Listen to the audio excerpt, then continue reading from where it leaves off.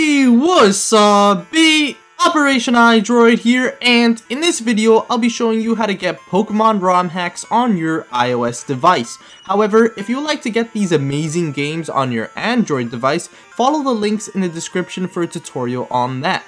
This has been extremely, highly, extravagantly, some more adjectives to get my point that this has been requested far too much due to the fact that they are no longer available on CoolROM.com. And for those that don't know, Pokemon ROM hacks are fan-made, using official Pokemon games as the backbone, while creating elaborate new storylines, regions, and much more.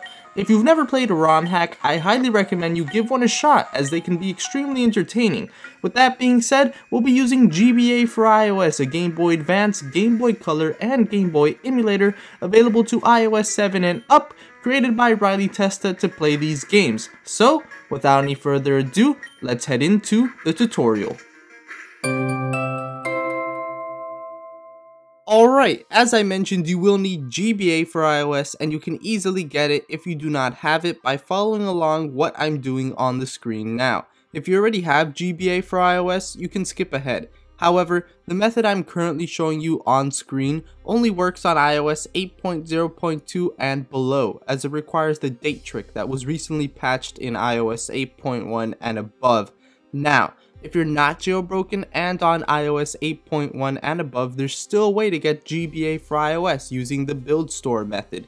If you'd like to learn how to do that, there will be a link in the description below. However, if you are jailbroken on iOS 8.1 or above, you also have an alternative of downloading a free tweak called AppSync Unified that will allow you to download GBA for iOS from iEmulators without a problem. If you'd like to learn how to do that, there will also be a link in the description below.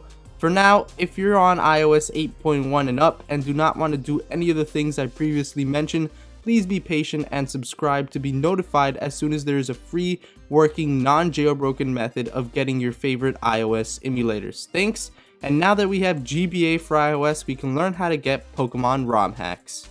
Getting Pokemon ROM hacks is very simple. All you have to do is open your Operation iDroid icon, which I guess most of you don't have because this is fairly new and you can get it by clicking the square with the arrow on it, select add to home screen and then add.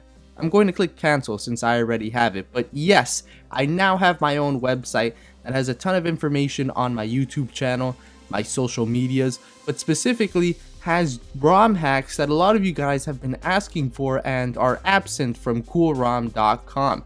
As you can see, I have a pretty decent selection of GBA ROM hacks and GBC ROM hacks with NDS ROM hacks coming in the future and even more ROM hacks from every platform coming soon. If you have any suggestions for ROM hacks that are not pictured on this site now that you'd like to see in the future, definitely let me know in the comment section below. But for now, you can download GBA ROM hacks or GBC ROM hacks by simply clicking on them, and you'll find a ton of information on them, and you can download them by simply clicking download. It's that simple, and your download will begin in the background. It may seem like nothing's happening, but please be patient and just wait until your screen changes. These downloads may take some time. As you can see, this is a 16 megabyte file and it should only take around 2 to 5 minutes but a 32 megabyte file will take longer. But as you can see, I patiently waited and now my download is done.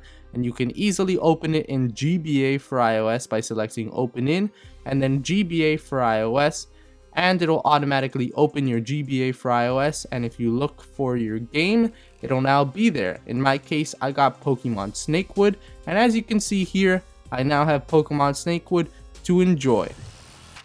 Thanks for watching, I hope you found this video helpful. If you did, then please leave a like as it supports these tutorials immensely. As well as if you haven't hit the subscribe button yet, I highly recommend you do so to be notified whenever I upload a video, because I upload iOS tutorials like this one every week. Anyways, thanks for watching, thanks for subscribing, and welcome to the operation.